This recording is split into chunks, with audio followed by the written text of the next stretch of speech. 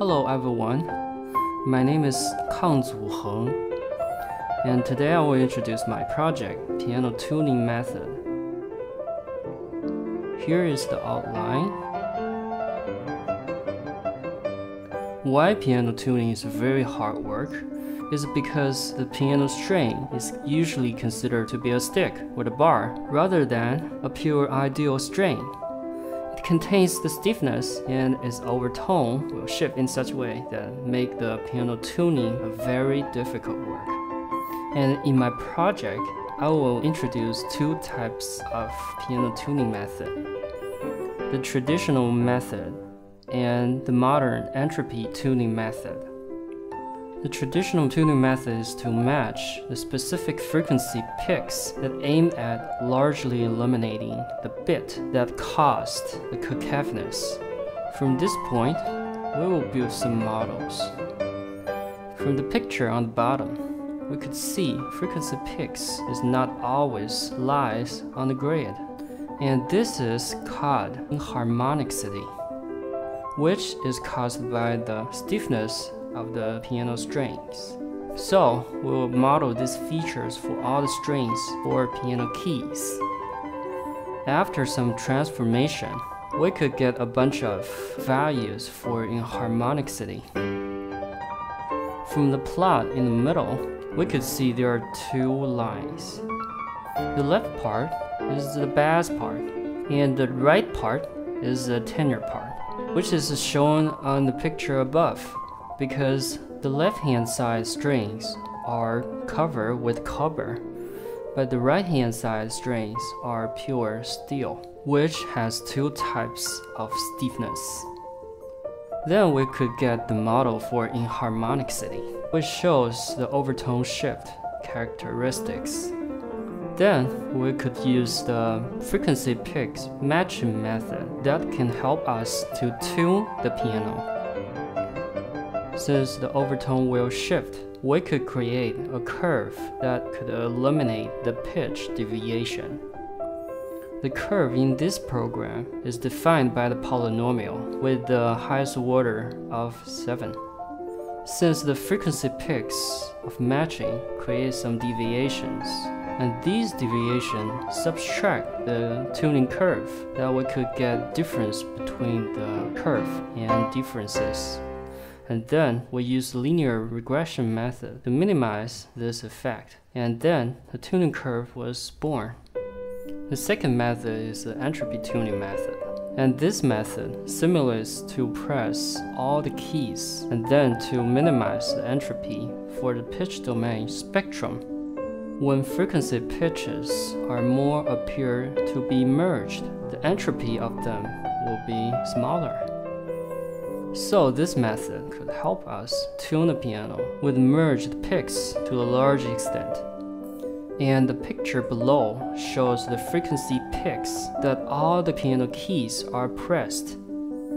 Then we randomly tune one key. When the entropy goes down, it keeps, otherwise it abandoned. And finally, through many types of tuning, we could get the piano curve for the entropy piano tuning method. After getting these curves, we could calculate the tuning table, which shows each frequency and its overtones for each piano keys. This tuning table is considered to be a tuning strategy, which guide us to tune the piano. And then we will have two audio demos for the traditional tuning method and the entropy tuning method respectively.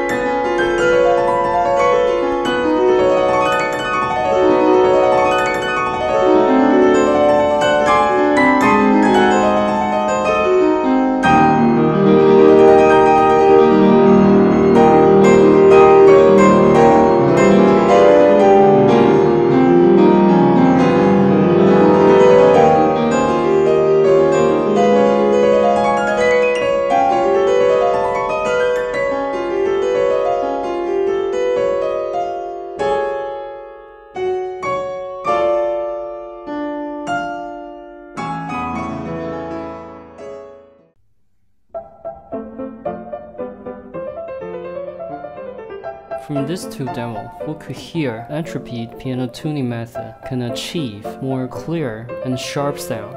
But traditional method is okay, but the sound is not clear enough.